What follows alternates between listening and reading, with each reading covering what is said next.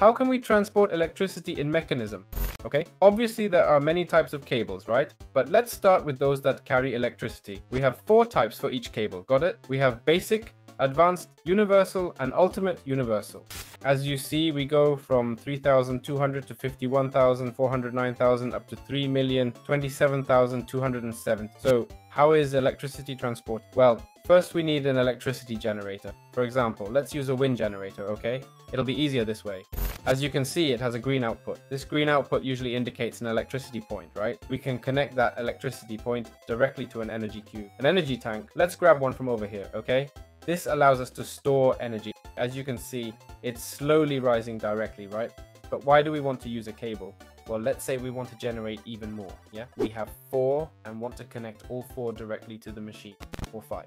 We'd put these five, uh, add this cable, which seems enough as it's not saturated. See, how do you know, uh, how can you tell it's saturated? Well, basically you can tell with the JMOD, right? As you can see, it would charge much faster than if there was just one, okay? If there's only one, it goes slower, right? I think that, I think that's pretty obvious. That's what cables are a bit useful for.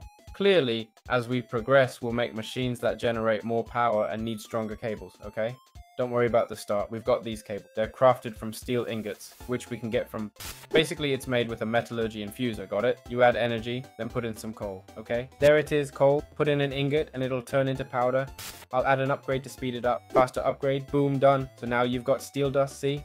process the ingot twice and you're set. You've got steel dust. Now heat it or, or run it through a crusher and you'll get the ingot. See? Heat it up and bam, you've got the ingot. Simple as that.